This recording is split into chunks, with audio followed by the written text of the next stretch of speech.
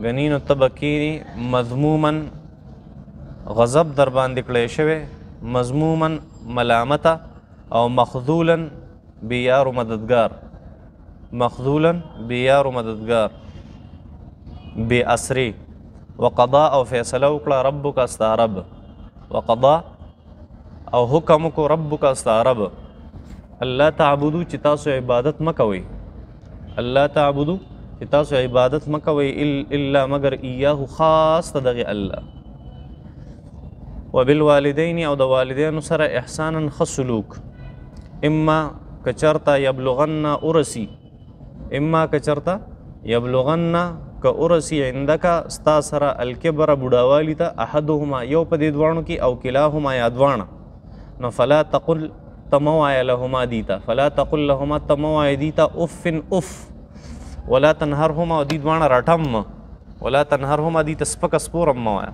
وقل او وایه لهما دې مور او پلار ته قولا وینا کریما نرمه واخفض لهما واخفض راښکته که لهما د دوی دپاره جناح الذل هغه د مهربانۍ وزرې جناح الذل وزر د مهربانۍ جناح الذل جناح وزر الذل مهرباني جناح الذل د مهرباني وزر من الرحمت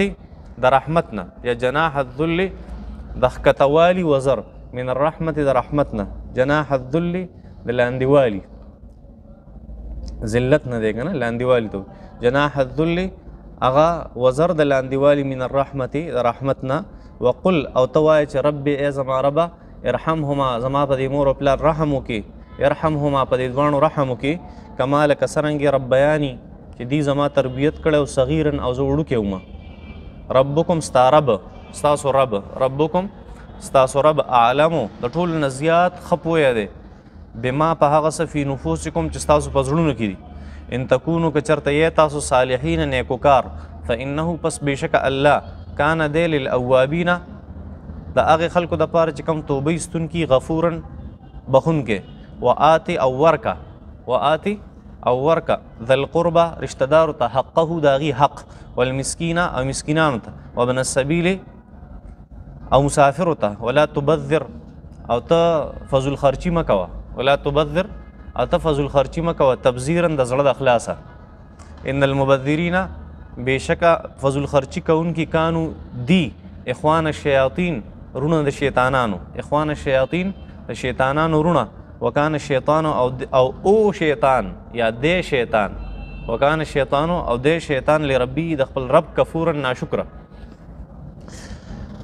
دینه مخکې آیتونو مبارکو کې داغي خلاصه بیانو متاوستا الله جل شانه یو خبره ذکر کوله چې د خو خلکو عمل ز قبلوم د خو خلکو عمل ز قبلوم خ خلک هغه خلک دي چې د اغي نظر په آخرت باندې او خپل دنیا کې خپل ژوند تیر نظر پسې په آخرت باندې او د آخرت تحت او د هغې د حساب کتاب تحت دی په دنیا کې خپل ژوند تیری نو دا الله وی چې دا کامیاب خلک دي په دنیا کې بدی مطمئنی او په آخرت کې بدی کامیابی نور په مال او دولت ته هغه کمې بشه دا څه پروا نه کوي خ سړی وي او مال به سره نه بد سړی وي مال به سره ډیر خ سړی وي مال به سره ډیر بد سړی مال به سره نه دا د الله جل شانه د دنیا یو قانون دی چې الله جل شانه د خپل چې کوم رزق ته دا د چانه منکې نه هر چاله د هغه د ضرورت او د هغه د مصلحت مطابق چې څومره د فائدہ ده څومره نقصان دی دې مطابق الله رزق ورکړي کله نا کله یو انسان ته غلط فهمي کیږي غلط فهمي وته دا کیږي که زه چرته د الله بد شوې نه زه به مالدار پیدا کولی یا که زه د الله خوښ وې نه زه به غریب پیدا کولی دا سوچ کله نا کله د بازي جاهل طبقه راځي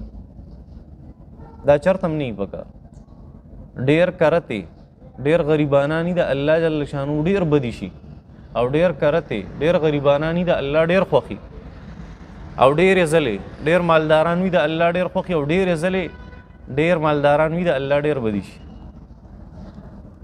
یاد ساتئ چې الله جل شانه ته غریب پیدا کړي یا مالدار پیدا کړي تعالی مال در کو مال نه درکړي د دې د کامیابی سره چې کوم کامیابی الله غوړي دې سره هیڅ تعلق نشته اسانه خبره ده دې کې څه نشته الله جل شانه چرته د مادیاتو په بنیاد باندې چاته نه وایي چې دا ښه دی او دا بد دی د مال په مادیات دا مطلب دنیا کې موږ ته سخت کاری دی د وجه الله چاته سنوي دا نه وایي چې دا ښه دی او دا خراب دی ویږي په دې باندې ځکه مونږ بار بار وایو حدیث کې راځي امام بخاری رحمت الله علیه روایت نقل کړي چې کچرته دی دنیا حیثیت ته الله په نظر کې د یو ماشي د وزر برابر وین کافر له به یو ساس کې وبم نه ور کړي هرڅن کې مونږ کافر ته ګورو ریاض ګل استاد نه کما تاسو کې استاد سره اکاونټ کې 100 پیسې دی به کې دی شي وي چې اکاونټ خو زماشتنه سره کنه دا سینه ده هم دغه شان دي ده خو لاړ شته داسې یو ملک ته لاړ شه چې هلته بېحیایي ډېره ده داسې یو ملک ته لاړ شه چې هلته عیاشي او فحاشي هغه په پیک پوینټ باندې ده او هلته د چا نه د لارویز وته که لاریز وته وي د هغه نه تپوس وکړه ستا په اکاونټ کې څونه پیسې دي هغه د ډایرک وایي چې ون میلیون ډالرز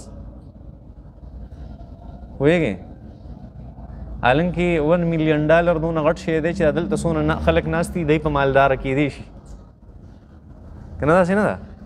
هم دغه شان دي ده 50 50 زره ډالر یو لور کې مالداری کنه مالداری 50 زره ډالر ډیر شي دی الته عام خلک دا خبرې کوي نو یاد ساتي دا د کامیابی او ناکامۍ معیار نه دی د الله جل شانو په نسبت باندې ځکه حدیث شریف کې راځي قران هم دا وایي حدیث هم دا وایي قران خدا وایي چې مادیات او د اساس چې تاسو تخکاری دی حیثیت ته الله په نيزي سم نه دی الله دې ته ګوري چې په تاسو کې یو انسان د الله سره څومره په تعلق کې پاتې کیږي او د الله نه څونه یریږي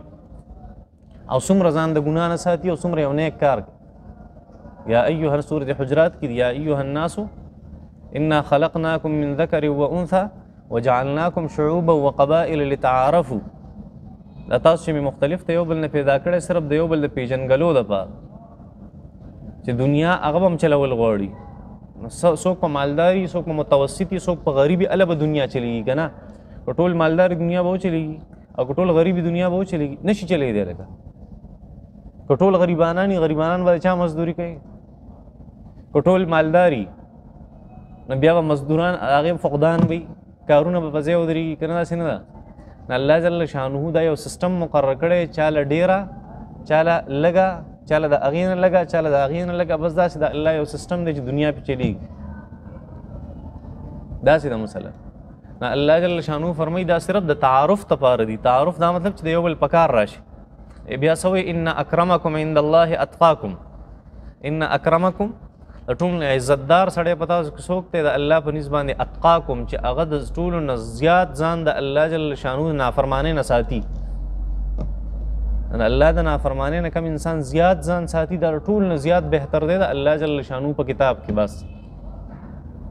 بل ځای کې نبی کریم صلی الله علیه وسلم فرمای ان الله لا ينظر الى صوركم ولا الى اموالكم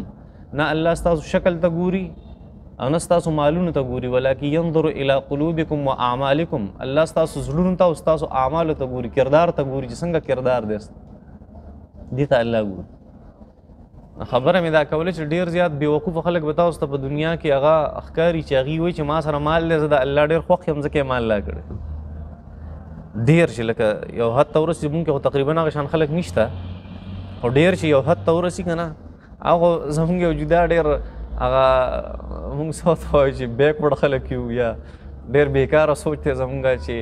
په مونږ کې هغه چاله یو له ستر روپیه سیوا راشي که نه هغه د بانګیانو په جنگ کې بیا صحیح د هغې صدارت کوي د هغې مهمان خصوصي داسې ده مسله یا څه کوي یا د کرکټ په میچونو کې هغه مهمان خصوصي او دا هغه بیا ځان له ټیس په ډبلې نه ماتیږي دا هغه ځان له یو قره پري دې ته مالداري نه وای خو خیر خبره مې دا کوله چې یو انسان کله یو حد ته ورسی په خپل مال او دولت کې یا په دنیا کې یا په خاندان کې یا په نفره کې یا په طاقت کې نو دی وایي که دا زه د الله ډېر خوښ یم ځکه داسې کوي امام غزالی رحمت الله علیه یو رساله لیکلې وړه شانتي او زه بار بار د هغې تذکره کوم الکشف والتبین فی غرور الخلق اجمعین چې شیطان هر یو سړی راضی کنه او په خپل یو طریقه او په خپل یو چال باندې دوکه کوي بادشاہ لسنګ راضی عالم لسنګ راضی د عالم بچی لسنګ راضی حافظ قرآن لسنګ راضی دا یو تذکرې هم په کړی چې دا مالدار لسنګ راضی شیطان ځکه شیطان خو سم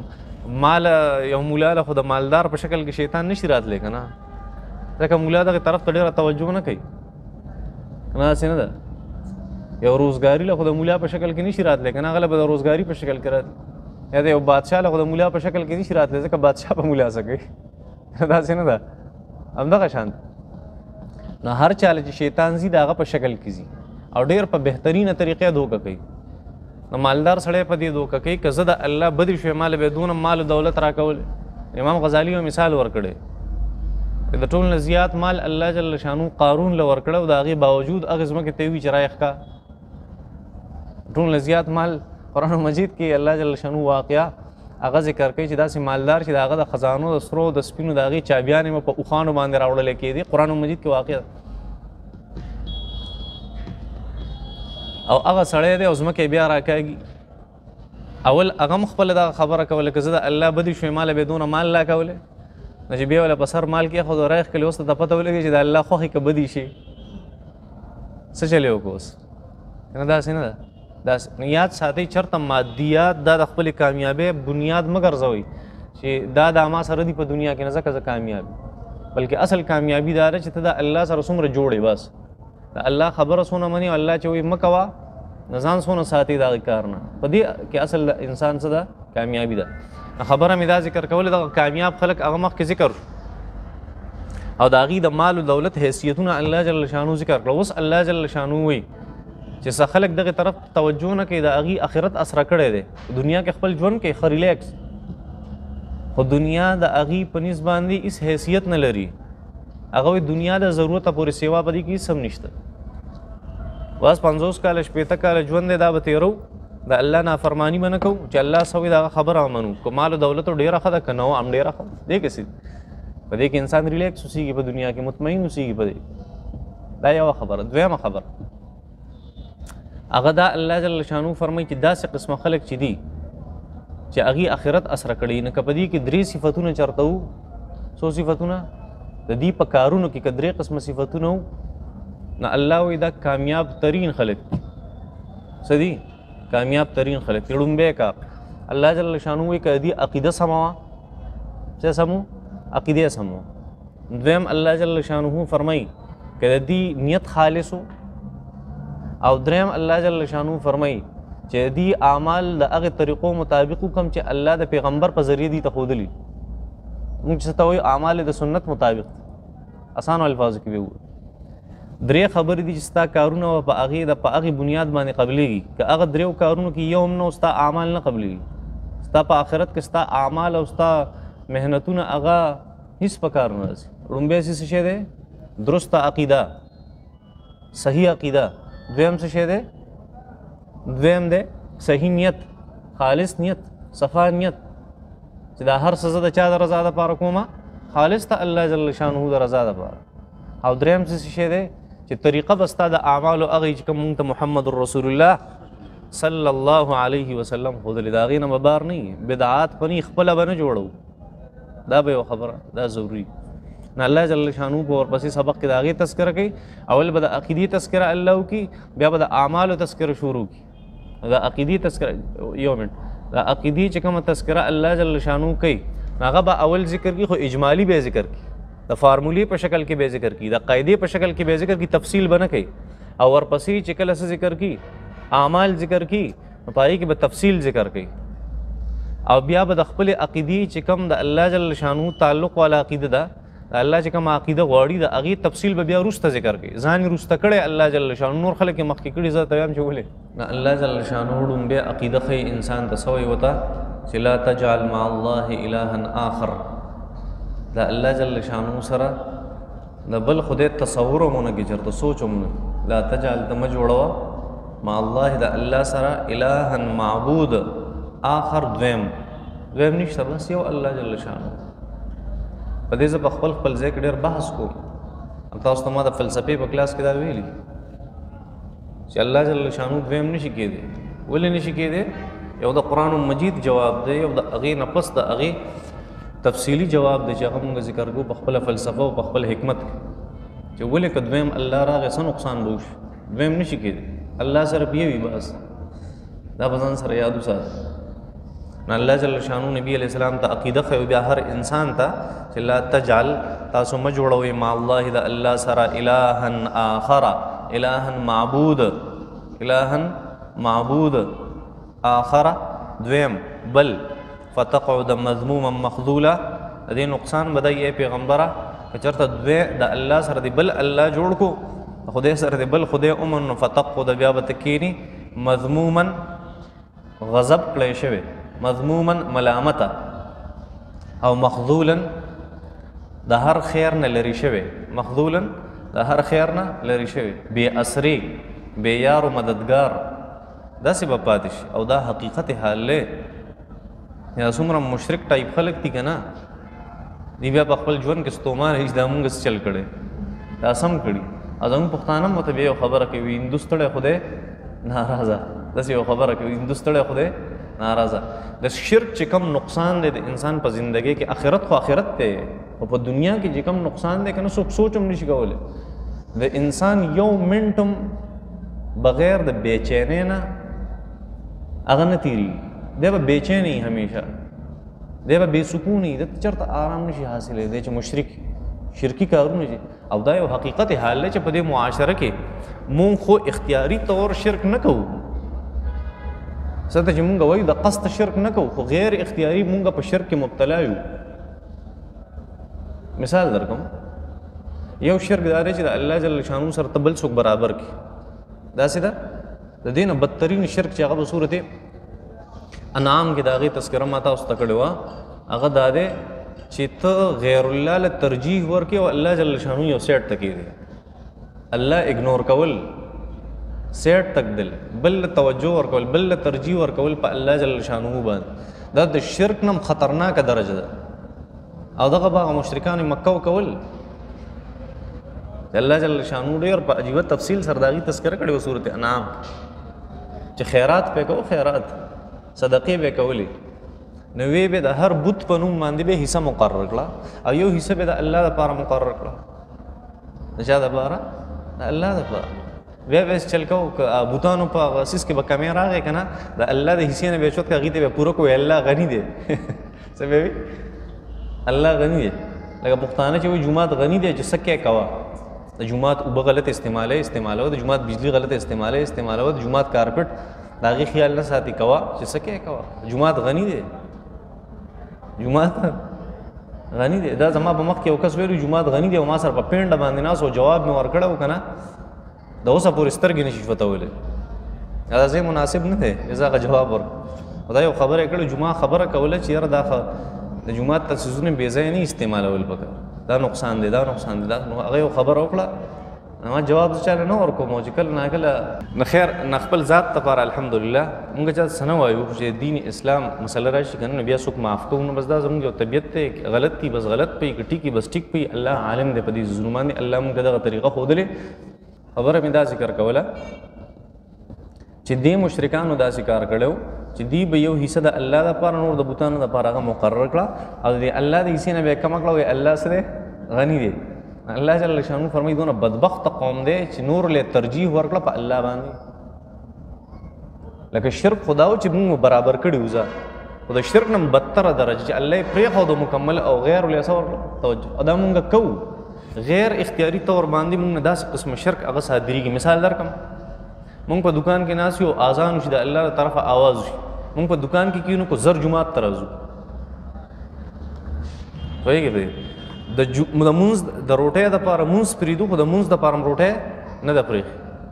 د سکول لپاره مدرسه پریدو خو د مدرسې د پاره سکول نه پریدو قران پریدو د نور سيزونو د پاره او نور سيزونو د قران د پاره پرې نه خو ده نور څه ته وی شرک ځکه امام رازی رحمت الله علیه په بل یو ځای کې په سورته انعام کې ذکر کړی دی امام رازی رحمت الله علیه فرمایي چې یو د شرک جلی او یو د شرک خفي چې کوم مشرکانو به شرک او شرک جلی واضحه ښکار شرک او مسلمانانو کې چې کوم شرک ته د شرک خفي دی یو پټ شرک دی نو ځکه مسلمانانو کې بے سکونی بے آرامی بے چینی هغه خورشه وي ده نو خبره مې دا کوله چې کوم سړی شرک کې داسي دا په دنیا کې دا مطمئن کې دي نشي دی په آرام کې نه ښا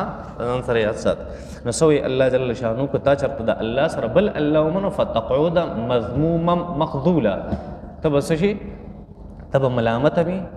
او تبا به یارو مددگار پاتې شي بیا ګر زمزه کو اسم نشته نو دا یو ته عقیده خو درسته سي وقضا ربک الا تعبدوا الا اياه اوس وته د عقیده سره اعمال خي اعمال صالحات او من منس کې بداوخی چې د اعمال صالحه په خپل نه جوړه دا په هغه طریقې چې کوم الله ویلي د پیغمبر په واسطه دا من منس کې الله جل شانه غزه نو اولنې الله جل شانه سکه حکم ذکر کوي د اعمال صالحه او قضا ربک الا تعبدوا الا اياه دا الله جل شانه حکم او فیصله دا دا حکم کړی دی چې الله تعبدوا الا اياه صرف دا غي عبادت پکې د بل چا عبادت دې بالکل اجازت نشته د بل چا د عبادت اجازت بالکل نشته او دویم سوی وبال والدین احسان وایي د استاد حق نه ذکر کوي د الله د حق نه پس د پیر حق نه ذکر کوي د الله جل شانه د حق نه پس د گاونډي حق نه ذکر کوي د الله جل شانه د حق نه پس سوی وبال والدین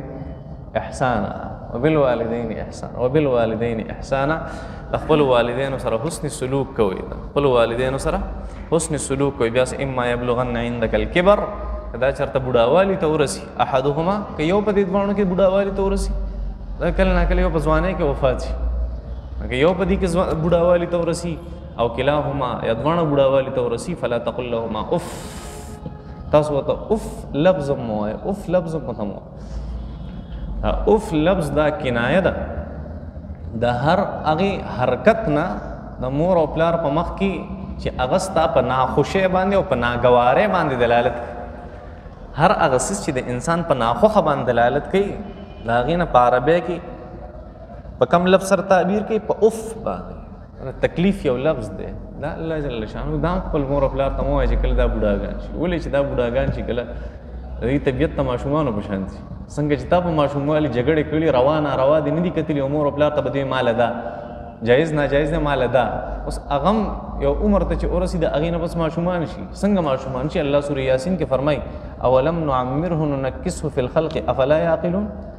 کله چې زه انسان هغه واپس ماشوم کوم کنه زی بوډا کم واپس زه کم ماشوم کوم نو بوډا کم خلکو کې راټیټ کم دا والدین چې دغه یو عمر تورسی دی خو یو ټول ماشومان په شان بس دی کله نه کله ناروا خبره کوي ټیک ته ادي سره څوک جګړه نه کوي جنگ جګړه ورته دی بی ادبی نه کوي دی بی احترامی نه کوي ځان ساتل پکار دي کې دا د انسان دنیا هم برباد او د آخرت هم برباد او داسې لفظ الله ذکر کړي داسې لفظ دا تجوید کړي کنه دی کړي قرائت دی ویل فوائد مکیه دی ویل خو ویل دا تاسو ته خبرو دلته الله یو لفظ ذکر کړي فلا تقل لهما اف خپل والدینو ته چې هغه مشران شي بیا ته اف موایا بس اوف ته مې اوف اصل کې د تکلیف ته پر نور الفاظ هم دي لکه انسان ته یو درد ورسي کنه آ هم وي اس اس یو لفظ هم وي چې کله اوف کله اس کله اوف ها کله حارش دا الفاظ راځي خو الله جل شانو نور یو لفظ حرف هم نه ذکر کړي فای ذکر کړي فا اوف دا الف نه پس ذکر کړي فا دا ولي هلکه تکلیف ته پر نور حروفو دی وجه ده دا ماشومان تجوید کې دلته کنه دی جمعات کې ناغي دا فوائد مکیه کې او خبر راځي وای چې دا حروف نه دي حروف الف با تا ثا جیم ها خا د دې قسمونه دي ځینې هغه چې هغه یعنی قسمونه په دې لحاظ سره چې کمزوري حروف او سخت حروف مضبوط حروف د قوت او د ذوق په لحاظ سره د حروف قسمونه دي کله وته دا قوي لفظ دی کله وته دا اقوا دی کله وته دا متوسط درمیانه دی کله وته دا ضعیف ته کمزور دی کله دا اضعاف ته د ټول نه زیات کمزور حرف دی ټول نه زیات کمزور او په هغه ټولو کمزور حروفو کې د ټول نه کمزور حرف فا ده الله جل شانو د ټول نه کمزور حرف اگر ولودي د پاره چې معمولی ذره برابر سونه کې خپل والدینو ته تکلیف نه رسي اضعف الحروف راوړو اضعف الحروف فا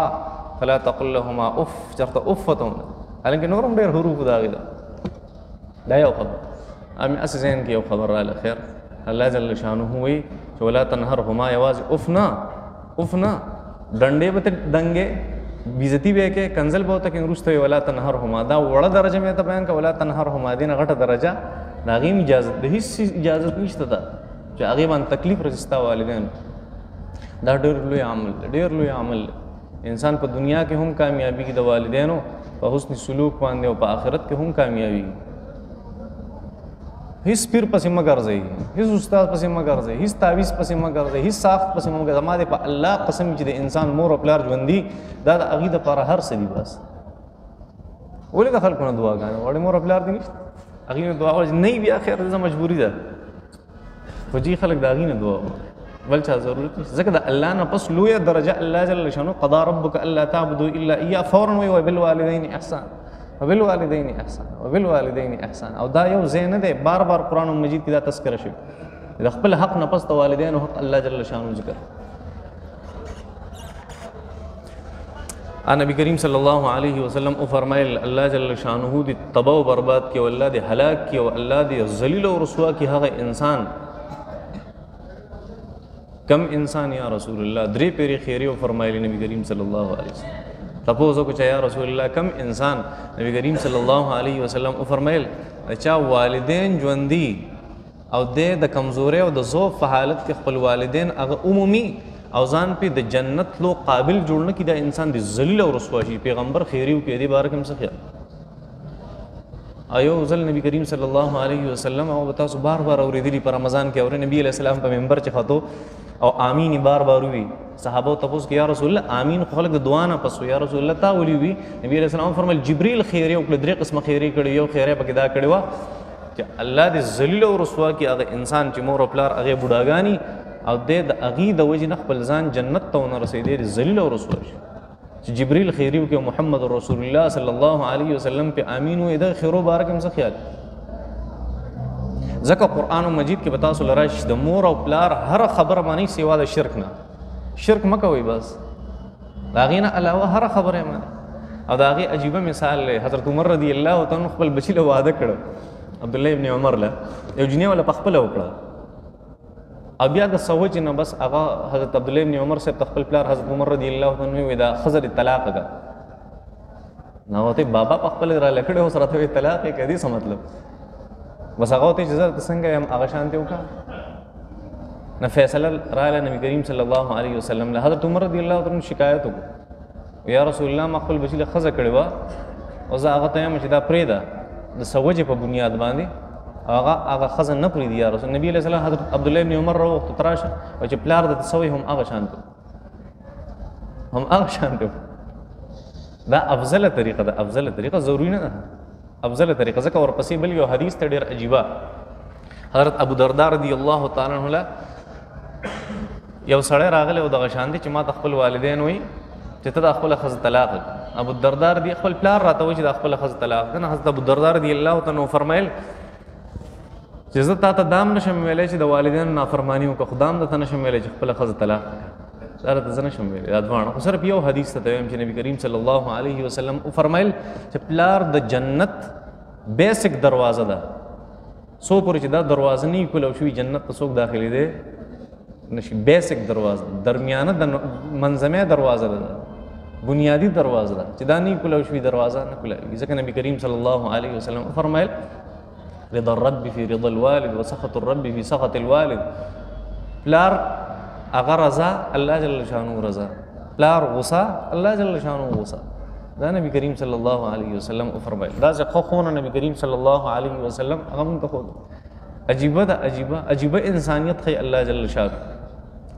دا ولی الله جل شانو په خپل حق پسې فورا د والدینو حق ذکر کوي ځکه الله جل شانو حقيقي خالق ته او مور او پلار هغه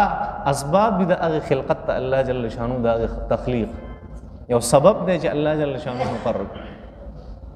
دا څه کی نو ځکه الله جل شانو ورپسې یو حدیث شریف کې راځي ډیر احادیث مبارکه به تاسو اوریدلی هغه چې کوم تاسو ته یاد دی هغه روایت زه بار بار نه هم صرف اشاره به وکم هغه ته چې نبی علیہ الصلوۃ والسلام نه تپوس شو ټول نه زیات حق ته چا دی نبی علیہ السلام درې پیر یا سلور پیر بل روایت کې جواب ورکړ استاد مور حق ته بیا اخر کې ته استاد پلار حق داس روایت تاسو ډیر شه اوریدلی خو یو عجیب روایت چې کوم امام مسلم رحمت الله علیه هغه نقل کړی دی او کوم چې امام بخاری رحمت الله علیه په الادب المفرد کې نقل کړی ډېر عجیب دی هغه عجیب دار چې نبی کریم صلی الله علیه وسلم او فرمایل چې ټول ګناهونه داسې دي کنه ټول ګناهونه چې د هغه اصل سزا چې دا هغه ملاویږي انسان ته په آخرت کې ډیره سزا بنیادی سزا هغه ملاویږي انسان ته په آخرت او د والدینو نافرمانی او د هغه بیزتی هغه داس یو جرم دی چې د دې د وجنه انسان الله په دنیا کې ذل او رسوا کوي اگر چې د توبه وباسي سو بس وې د نبی علیہ السلام فرمایل دا توبې نه مستثنا ده ابه بهقي شریف کې بل روایت ته نبی علیہ الصلوۃ والسلام فرمایل کپه داس نافرمانه کې والدین د انسان نه لاړ شي انسان نافرمانی کړي د خپل والدینو د اغي د پاره سکوي د اغي د پاره استغفار کوي د اغي د پاره دعاګانې کوي د اغي د قبر زیارت کوي او د اغي د دوستانو سره خو سلوک کوي نبی علیہ السلام دا طریقه نبی کریم صلی الله علیه وسلم ته خودلې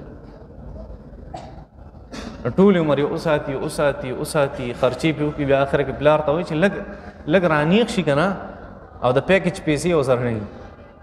لګ رانیخ شي کنه او د بایک پیسې او سره نه لګ رانیخ شي کنه په خپل خو باندې ودري او لګ د مسته خرچه او سره نه بیا بلار ته وای زما یې سره راکړه سرکه پلار ایزه مخکې ما هغه خبره مې د میسج کړې و دا غي ویډیو دا ذکر شوی یو بچی پلار راشي روي مال وي زما چې کوم حصہ دا غراک هغه بچی صحیح سره وای تاسو سره زما 20 لک روپے کی څومره په میراث کې 20 لک روپیا غوته زمړ نه حصہ د صدر کوم چې زمړ شه میراث واغې ته وي او سړی مړ شي اوسه ته پاتې شي زه غلا ژوندې هم زما سیستاله څنګه درکم څنګه او ته نه خیر دی مال جوسته چې ستاره مرګ نه پسه ته سمې لاویږي مال په کیسو کړ او ته بچي خزه یو خبره یو حساب به برابر یو بل چلو راځي حساب کتاب کو چې د بچپن نه تر اوسه پورې ما پتا خرچه سونه کړي ستا ما ته 20 لک روپۍ کیږي نو چې هغه خرچه وکړه خبره 60 لک ته ورسیده پلار ورته زماغه بقایا راک خرچه حساب پلار ورته زماغه بقایا وسراک ځکه دا وایي زما 20 لک کیږي الټا زما 40 لک دروړي دي نه دا د سکیږي خدا ډیر د سکیږي د چرته مکوي بس دې سره اولاد ډیر مستیږي بس هر څه زما دي چې کوم کوم ستا په دې کې سړي نبی کریم صلی الله علیه وسلم یو سړی شکایت کړو نبی علیہ الصلوۃ والسلام ته یا رسول الله زما پلار زما مال او دولت زما د اجازت نه بغیر استعمال نو نوجوانو زما پلار زما مال زما د اجازه نه بغیر استعمال نبی کریم صلی الله علیه وسلم هغه پلار وغوښتو هغه نبی علیہ الصلوۃ والسلام مبارک او ته وی چې راته د خپل بچی د مال غلط استعمال کړي ته لګراشه هغه چې په لار را روانو په لار عجیب شیرونه یې بچی ما خپل اډو کې ستا د پاره زاړه کړه دا ته اوس ما سره سکه چې زما مال مې استعمال ما خپل وخت ستا د پاره سپین کړه دا خبره وکړه جبرئیل لاغه نبی علیہ السلام ته وی سړی را روان دی دا خبره کوي نبی علیہ الصلوۃ والسلام هغه نوجوان را وخت د گریوان نیونی دکیا ورکړه و انت و مالک لی ابیک تو ستا مال او ستا هر ستا د پلار دي ستایست نشته بس صلی الله علیه